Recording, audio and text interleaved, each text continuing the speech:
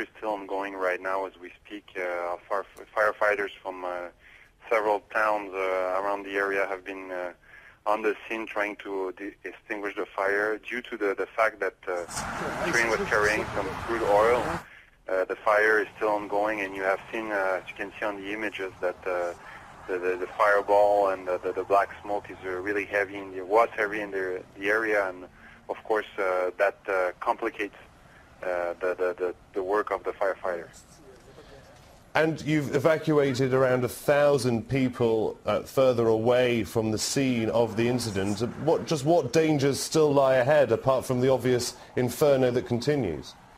Well, the, the, the, there are many dangers. Of course, uh, there's a smoke uh, that could could cause a hazard to uh, to the the the, uh, the people in the area. Of course, uh, the water will also is a problem because uh, of the the fact that uh, there was some crude oil and the fact that uh, the, the crude oil has been leaking in the in the environment and the, the, the lake nearby.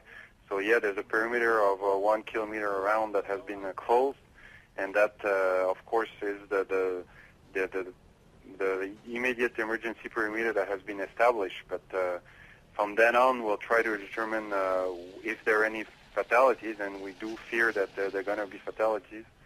And uh, from now on, uh, we're trying to locate the people that were they are still missing. Has anything like this ever happened before in this area?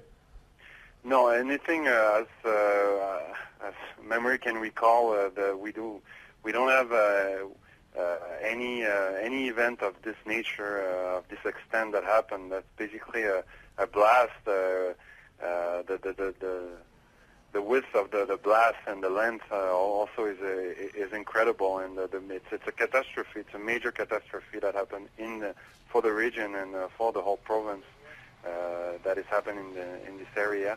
And of course, uh, well, we, we, all the, the, the emergency units are working their best to, uh, to save uh, save lives and to determine what happened.